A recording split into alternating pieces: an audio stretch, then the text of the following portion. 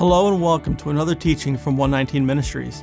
Our ministry believes that the whole Bible is still true and directly related to our lives today. If you'd like to learn more about what we believe and teach, please visit us at testeverything.net. If you enjoy this video, please click the like button and subscribe to our channel by clicking the subscribe button below. We hope you enjoy studying and testing the following teaching.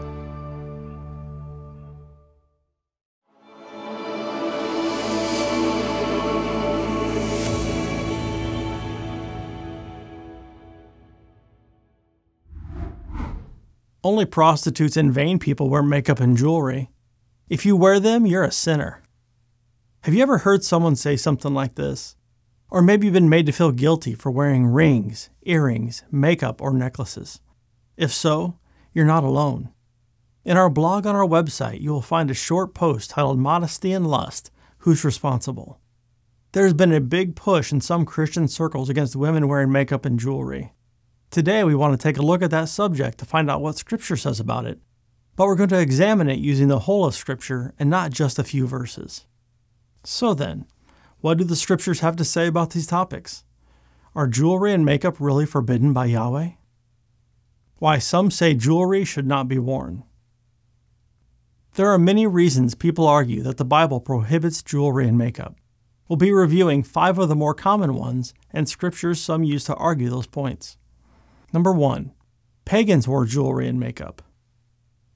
The claims relating to pagans wearing jewelry and makeup often go something like this We know the pagans wore jewelry. We know the pagans wore makeup. We know that God says not to do what the pagans do. Therefore, we should not wear jewelry or makeup. That's some pretty sound logic, right? Two premises followed by a conclusion. Unfortunately, what this type of statement does is it removes the context of what Yahweh commanded. Let's take a look at the verses where those who object to jewelry and makeup may be pulling this from. Deuteronomy 12:4. You shall not worship Yahweh your God in that way. Deuteronomy 12:31. You shall not worship Yahweh your God in that way, for every abominable thing Yahweh hates they have done for their gods, for they even burn their sons and their daughters in the fire to their gods. And finally Jeremiah 10, which has perhaps their strongest support. Jeremiah 10:2. Thus says Yahweh Learn not the way of the nations, nor be dismayed at the signs of the heavens, because the nations are dismayed at them. It's pretty easy to explain why the verses in Deuteronomy have nothing to do with jewelry.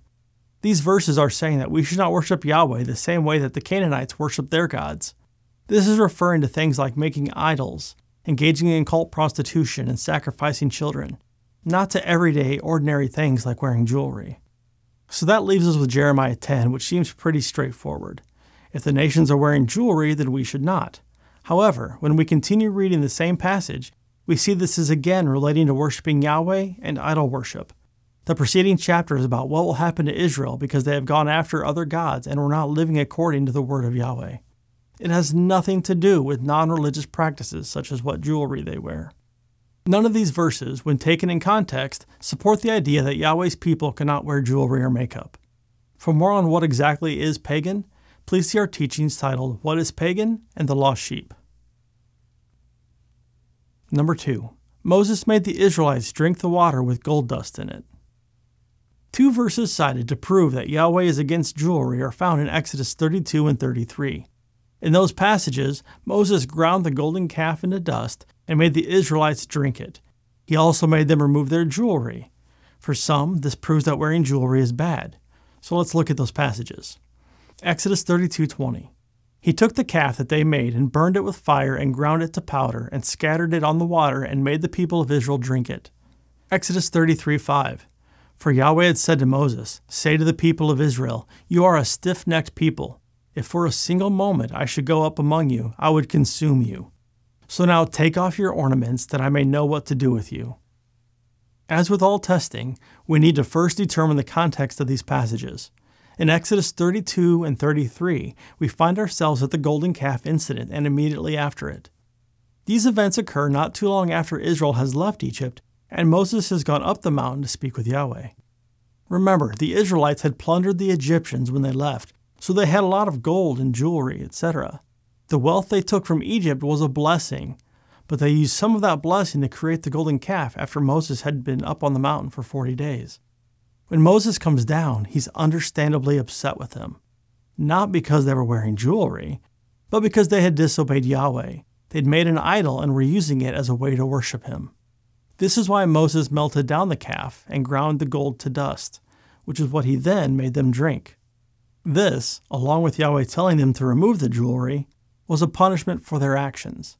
They were commanded to remove their jewelry as a temporary punishment, as a sign that they had misused their blessings. This was not a permanent injunction against wearing jewelry. The context tells us that the prohibition was not permanent, and we can also see from the rest of the scriptures that jewelry is not a bad thing at all. We will cover the places that scripture speaks positively of jewelry later on. Number 3. Jewelry and wearing makeup is vanity. It only serves the sinful flesh. Jeremiah 4:30 is one verse used to defend the position against wearing jewelry and makeup. Jeremiah 4:30 and you, O desolate one, what do you mean that you dress in scarlet, that you adorn yourself with ornaments of gold, that you enlarge your eyes with paint? In vain you beautify yourselves. Your lovers despise you, they seek your life. As you can see from these verses, there is something to the idea that wearing jewelry or makeup can feed our flesh, especially our vanity. However, there is a difference between wearing jewelry or makeup to feel pretty and being vain, desiring to flaunt your wealth or beauty. What is vanity? According to the Random House Dictionary, vanity can be defined as excessive pride in one's appearance, qualities, abilities, achievements, etc.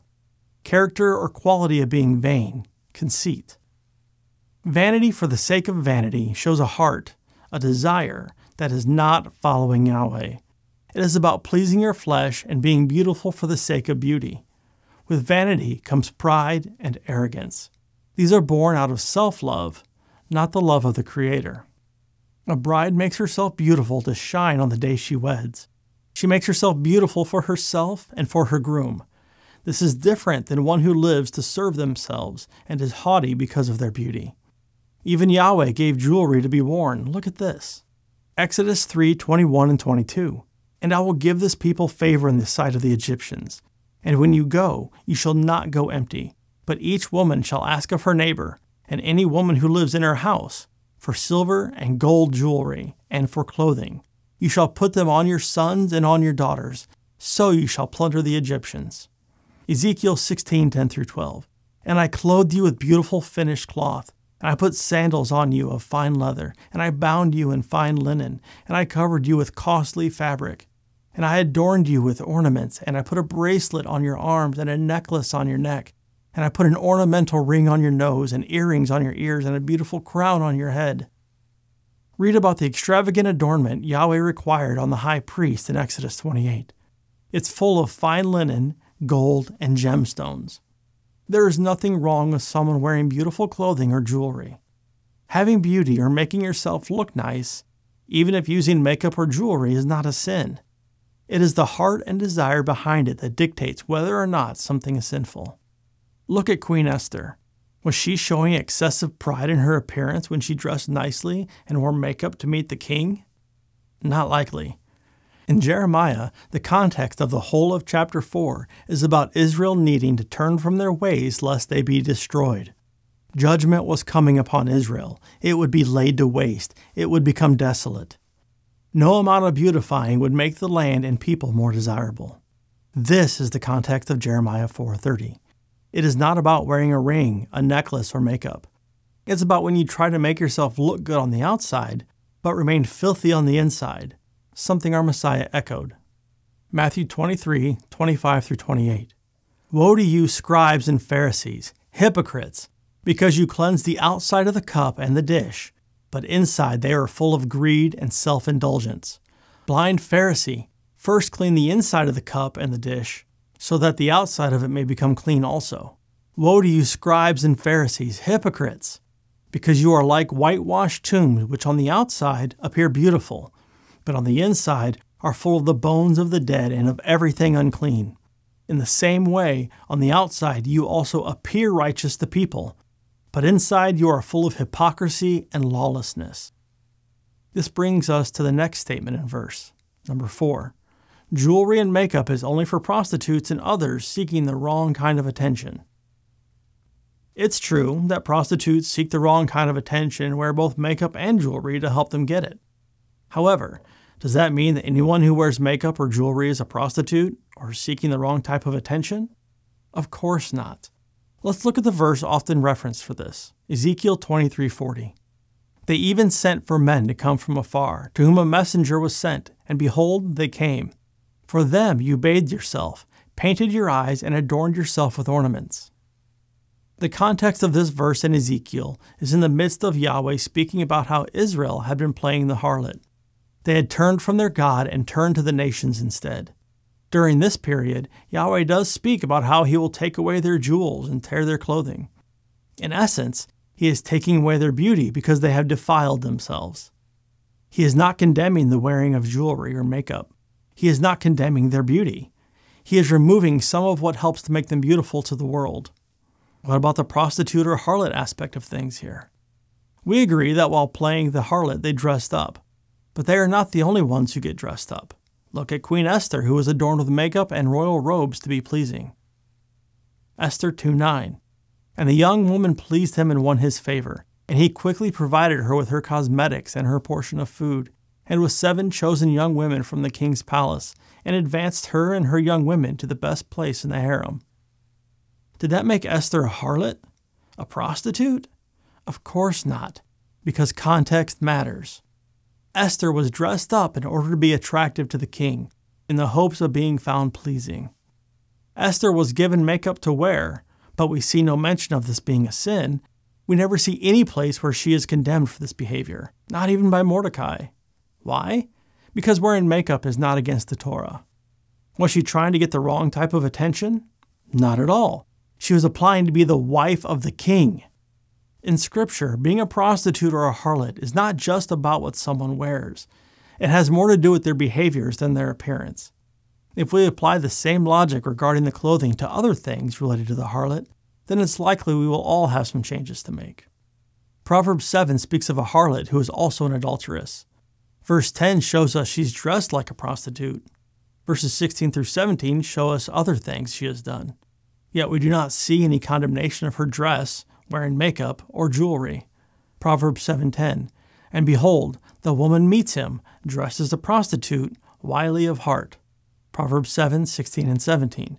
I have spread my couch with coverings, colored linens from Egyptian linen. I have perfumed my bed with myrrh, aloes, and cinnamon. If the verses from Ezekiel imply that we shouldn't wear makeup or jewelry, then wouldn't these verses from Proverbs imply that we shouldn't use perfumes or have linens on our beds? Clearly, these passages do not imply these things. The point of these scriptures is that we should not engage in physical or spiritual prostitution. Proverbs 5 speaks of another harlot. Know what we are being warned to look for. Proverbs 5, verses 3 through 6. For the lips of a forbidden woman drip honey, and her speech is smoother than oil. But in the end, she is bitter as wormwood sharp as a two edged sword. Her feet go down to death. Her steps follow the path to Sheol. She does not ponder the path of life. Her ways wander, and she does not know it. We are warned about her words, her actions, and her thoughts. Did you notice what was absent? A warning against her wearing jewelry and makeup. This is the pattern in Scripture whenever harlots or prostitutes are mentioned. We are to beware of them because of their actions and where following them will lead us. We are never warned against wearing makeup or jewelry because harlots wear it. Later in the teaching, we will cover additional passages where jewelry is worn by others that are not harlots to further illustrate the futility of that argument. A final thought on this topic.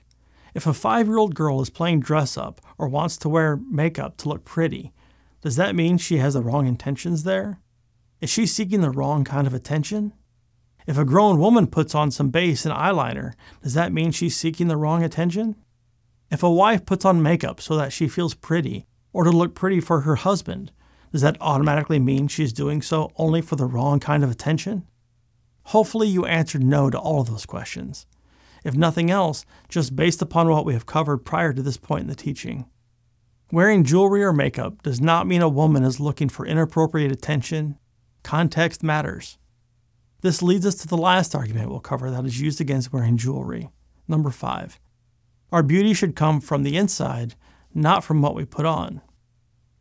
We do agree that beauty should be something that is an internal thing. However, it does not have to be an either or choice between internal and external beauty. To support the statement that beauty should only come from the inside, Paul and Peter are often quoted. 1 Timothy 2 9 through 10. Likewise, also, that women should adorn themselves in respectable apparel, with modesty and self control, not with braided hair and gold or pearls or costly attire, but with what is proper for women who profess godliness, with good works. In 1 Peter 3 3 through 5. Do not let your adorning be external, the braiding of hair and the putting on of gold jewelry or the clothing you wear. But let your adorning be the hidden person of the heart with the imperishable beauty of a gentle and quiet spirit which in God's sight is very precious. For this is how the holy women who hoped in God used to adorn themselves, by submitting to their own husbands. Both of these statements indicate that a woman's beauty should not be based upon what adorns her.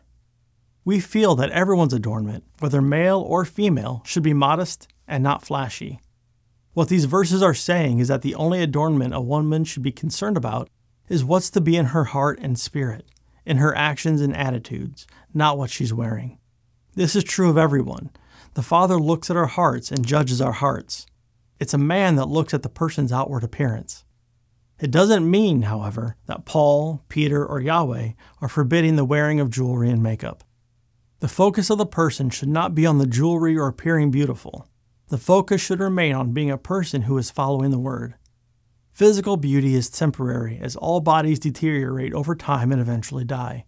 But living a life according to the Torah, full of love for Yahweh and people, is the greater beauty that does not fade. That is the beauty that should be striven for more than any external beauty.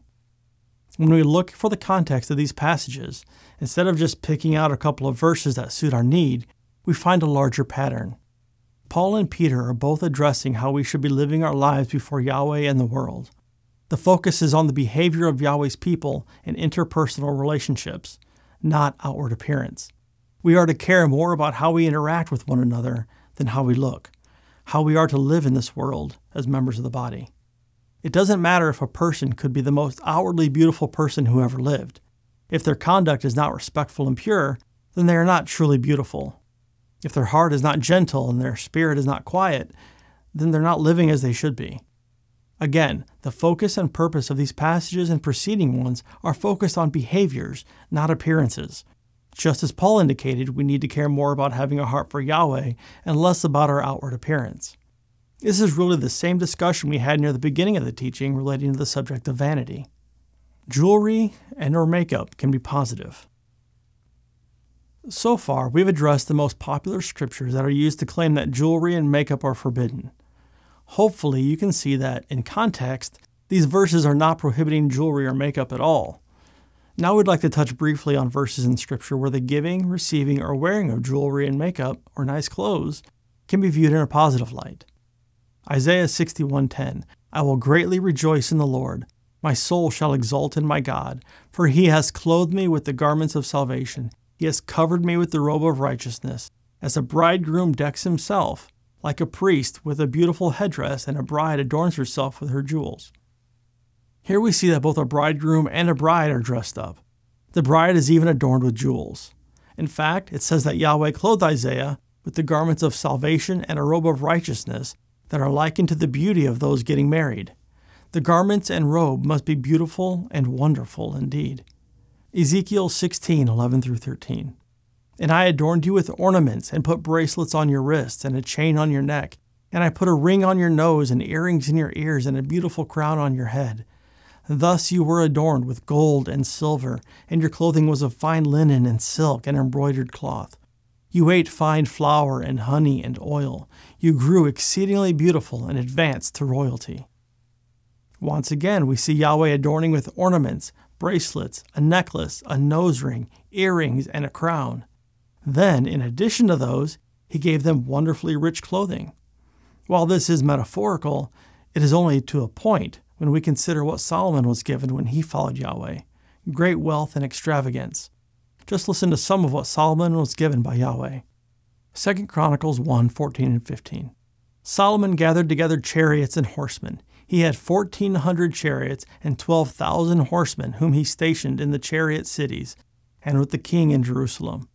And the king made silver and gold as common in Jerusalem as stone, and he made cedar as plentiful as the sycamore of the Shephelah. 2 Chronicles 9 13 through 21. Now the weight of gold that came to Solomon in one year was 666 talents of gold, besides that which the explorers and merchants brought. And all the kings of Arabia and the governors of the land brought gold and silver to Solomon. King Solomon made 200 large shields of beaten gold. 600 shekels of beaten gold went into each shield. And he made 300 shields of beaten gold. 300 shekels of gold went into each shield. And the king put them in the house of the forest of Lebanon. The king also made a great ivory throne and overlaid it with pure gold. The throne had six steps and a footstool of gold, which were attached to the throne, and on each side of the seat were armrests, and two lions standing beside the armrests, while twelve lions stood there, one on each end of a step on the six steps. Nothing like it was ever made for any kingdom. All King Solomon's drinking vessels were of gold, and all the vessels of the house of the forest of Lebanon were of pure gold. Silver was not considered as anything in the days of Solomon, for the king's ships went to Tarshish with the servants of Hiram. Once every three years, the ships of Tarshish used to come bringing gold, silver, ivory, apes, and peacocks. 1 Kings 10 4 and 5. And when the queen of Sheba had seen all the wisdom of Solomon, the house that he had built, the food of his table, the seating of his officials, and the attendance of his servants, their clothing, his cupbearers, and his burnt offerings that he offered at the house of the Lord, there was no more breath in her. Solomon had such riches and so many fine things. Gold and silver were as common as stone. There was probably a lot of fine jewelry as well, even if it wasn't specifically stated. Remember the argument that Peter said women shouldn't wear fine clothing? Well, even Solomon's servants had it so much so that it took the Queen of Sheba's breath away. Look at the coverings of one of Yahweh's creations, a cherub. He was covered in precious jewels and gold. Yahweh adorned him this way, as a good thing, not a bad thing. Ezekiel 28 13 through 17. You were in Eden, the garden of God. Every precious stone was your covering sardius, topaz, and diamond, and beryl, and onyx, and jasper, sapphire, emerald, and carbuncle, and crafted in gold were your settings and your engravings. On the day that you were created, they were prepared. You were an anointed guardian cherub. Or consider what was done for the prodigal son in the parable, Luke 15 22. But the father said to his servants, Bring quickly the best robe and put it on him, and put a ring on his hand and shoes on his feet. The best robe and a ring on his finger, signs of wealth and favor being given to the prodigal son who has returned home. These are favorable things, not sinful ones. Genesis 24:53 And the servant brought out jewelry of silver and of gold and garments and gave them to Rebekah. He also gave to her brother and to her mother costly ornaments.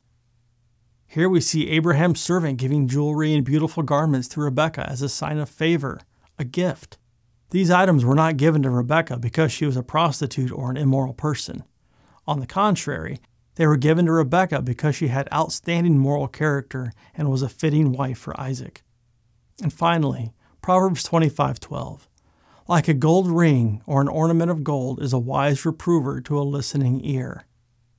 Here, wisdom is being likened to a golden ring. This is a good thing, not something sinful. Why would Yahweh use something that is sinful as a metaphor for something that is good? The simple answer is, He wouldn't. Conclusion In conclusion, the idea that we should not wear jewelry or makeup is nothing more than man's misguided understanding of Scripture. We have reviewed the five primary reasons why many believe jewelry and makeup are to be avoided. In reviewing those reasons and their supporting scriptures, we found that many times it is a misapplication of Scripture because the context was not taken into account. We were unable to find anywhere in the Torah that the wearing of jewelry and makeup is forbidden by the Creator and made a sin forever. Instead, what we find are a couple of select instances where Israel was being punished for disobeying Yahweh. We also saw numerous examples where jewelry and fine clothes were considered a blessing from Yahweh, or were used to indicate the favor bestowed upon individuals. We even saw how metaphorically, and in Solomon's case literally, Yahweh bestowed such gifts upon his people when they were obedient to him. Even Yahweh's high priest was richly attired with golden jewels. To say that Yahweh is against jewelry is not only silly, but just plain wrong. The wearing of jewelry or makeup is not something forbidden by the Torah, nor is it something that only pagans and prostitutes wear. There is nothing wrong with adorning oneself with such things to enhance beauty. The problem arises when it becomes your focus and intent, or vanity. When we keep our eyes on the outer physical beauty, we see only what is fading and worthless in the end. Remember, there is no Torah commandment from Yahweh forbidding jewelry or makeup. If we claim that Yahweh forbids such things, then we're adding to the Torah. It is true that jewelry and makeup can be worn because of vanity, when a person values their physical appearance more than they value the things of God. But they can also be worn in order to please one's husband, just like Yahweh clothes Israel with beautiful garments and stones. Jewelry and makeup can be used for evil purposes or for good ones. They are not inherently evil, and they are not forbidden by the Scriptures. We must strive to keep our eyes focused on the Creator and His ways. By doing so, we will become beautiful people with hearts seeking after Yahweh. A heart after Yahweh is where true beauty is found. A heart after Yahweh will be full of love for Him and for people. Nothing is quite as beautiful as a person who exudes love and genuine concern for those around them. A beautiful person on the outside may soon fade away into ugliness if they are not properly attired with a beautiful heart and spirit. We hope that this teaching has blessed you, and remember, continue to test everything. Shalom.